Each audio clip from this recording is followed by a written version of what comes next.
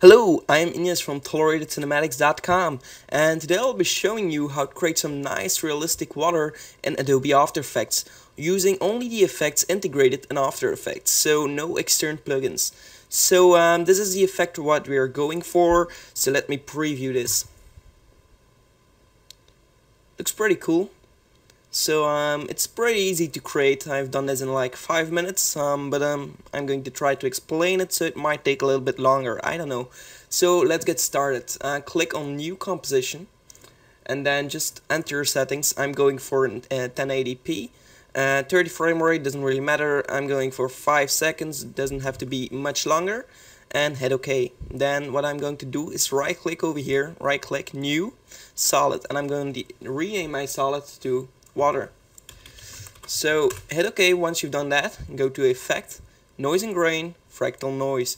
And once you've added the fractal noise, the fractal type should be uh, changed to dynamic and the noise type to linear. And then what you can do is just um, tweak the uh, contrast and brightness a little bit to 120 and negative 10. This is what I thought uh, was working for me. Um, maybe even 5, um, neg uh, negative 5 or negative 7 uh, would be a little bit better for me. And the complexity, let's change it to 4 because now it's too way too complicated. Um, then we're going to drop down the transform over here and we're going to scale it up to like, so let's say 150 um, and this is looking pretty fine. Okay, so once you've done that, we are going to animate our uh, water so uh, we can see some um, some displacement happening there. So um, we're going to click on the transform again, click on offset turbulence, and then just clear, uh, create a new keyframe at the beginning of our timeline. Then just drag uh, at the end of your timeline, and then just change these uh, these a little bit over here. Not too much, so it uh, doesn't go uh, as fast. Um, if you wanted to go fast, yeah, just uh, change it a little bit more and then press U on the key, uh, keyboard to reveal the keyframes and then just drag this out so it doesn't stop uh, at the end or doesn't fade out over here. So um, once you've done that, we are going to add our colors for our water. Um, maybe uh, first we want to add an expression to evolution so we have a little bit more animation.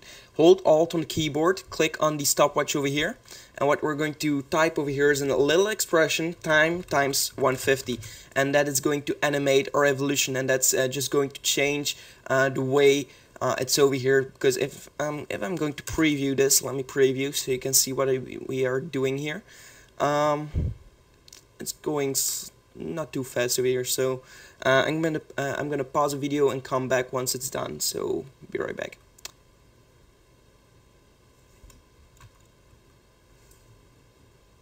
Okay, so it's done rendering over here, so let's see what we have. Okay, so I'm going to render this. As you can see, um, the fractal noise is animating and it's going to the right because we animated the offset turbulence, but um, the animation is from the evolution, so this um, little expression just animated over time uh, without even have to keyframe it. It's a little bit easier than keyframing uh, in my opinion. So uh, once you have something looking like this, we're going to add our colors to our water. Uh, we're going to effect and then going to color correction, tritone. And this will just give um, the nice uh, colors for our highlights, midtones, and shadows. So um, I like to work with the blue slash greenish um, watercolor, something like this over here, and make it as realistic as possible. So um, I'm just going to pick some colors over here um, some mid uh, mid blues over here and some dark ones as well. So something like this should be working fine. A little bit darker. Uh, this is a bit too bright. Okay there we go. And maybe a little bit lighter for the highlights. Okay so this is what I like. Um, this should be our water at the end. Um, what we want to do now once you have something like looking like this hold Ctrl and Shift on the keyboard and then press C um, if you don't know what how to do that, um, just go to composition and um, no, going to. Uh, it's a long time I've done this because I'm always using uh, my hotkeys right now. I'm going to layer pre-compose. Okay, I'm sorry. I'm going to layer and pre-compose this. Um, then move all the attributes to uh, a new composition and then just rename it to whatever you want. Water, um, yeah, water fractal noise something like this and hit OK. So once you have something looking like this, what I like to do is um, add a glass to sell the effect. So at the effects and presets, we are going to enter, um, if you don't see the effects and presets, go to window and then just check on the effects and presets. And once you've done that, go to the search and press CC um, space um, glass over here. So at stylize, if you don't find it over here, just click on the uh, on your layer, go to effect, stylize, and you will find it on there as well. But I like to search my effects over here because uh, it's a lot faster. So um, I'm going to drag this and drop this on our layer, and that will give this glass effect over here. Now we have to tweak it a little bit to make it uh, a little bit realistic. Um, so let's tweak it over here. The softness I'm going to change it to 30 or 40 something um, yeah let's say 35 because um yeah there we go. Um, the height we're going to change it to negative um, no we are going to change it to 50 and the displacement to negative 100 and as you can see already um, our water is coming through um, I'm going to change the height again to 100 uh, a little bit more. Let's say 75 negative 75 what works well? Uh, let's say 75 will do yeah it's working fine. So something like this.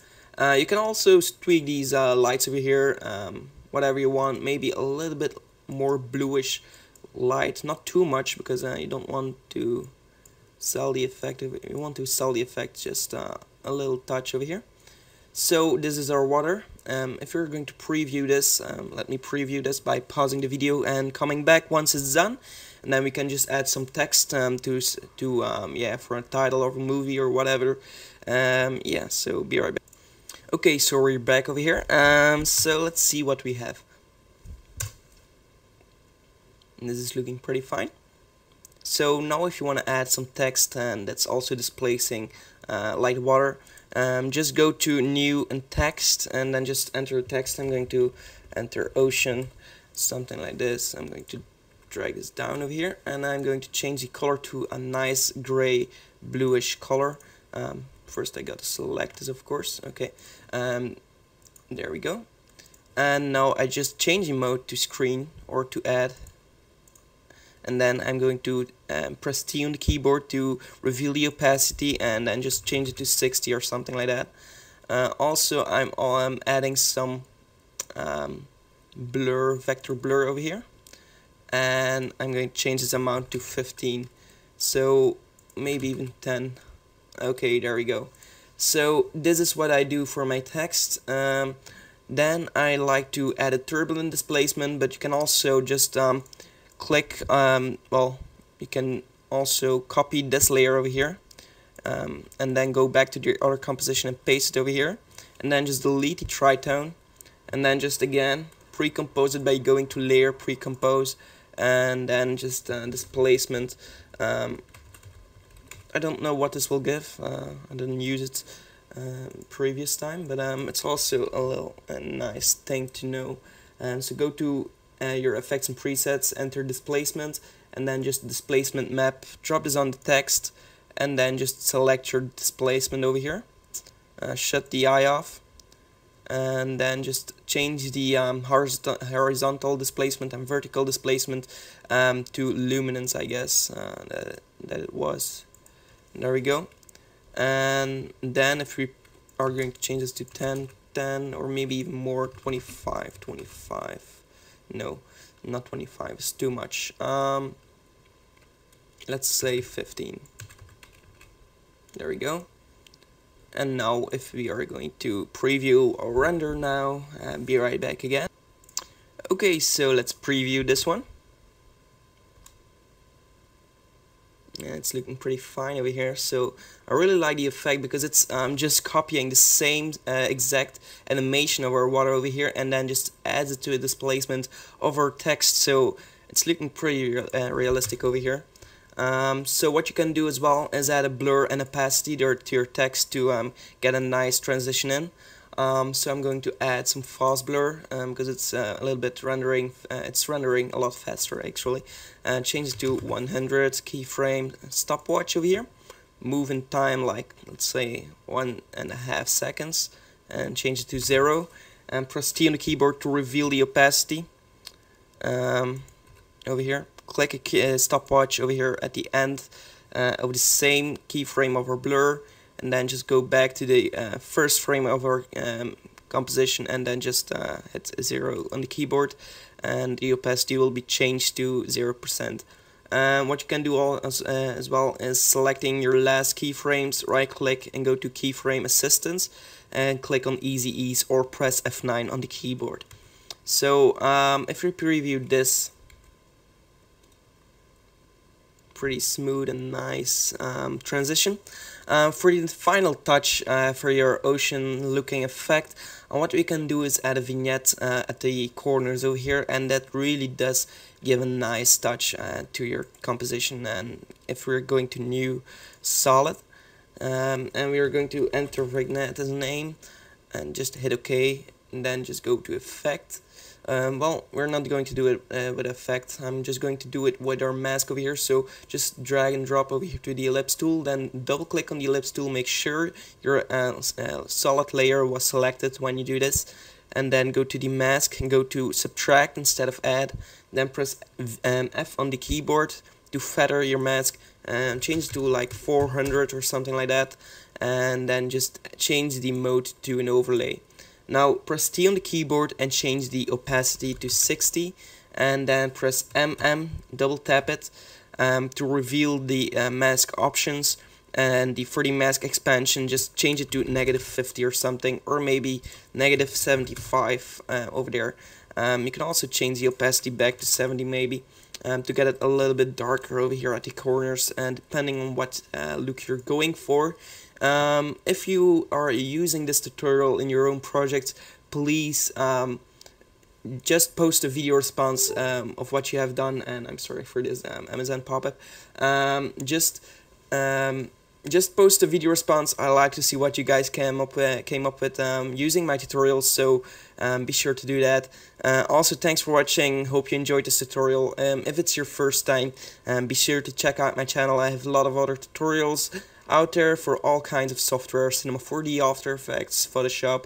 Um, I also have a website at toleratedcinematics.com with a nice overview over there and with a blog and inspiration and all that kind of stuff. So thanks for watching and goodbye. Take care.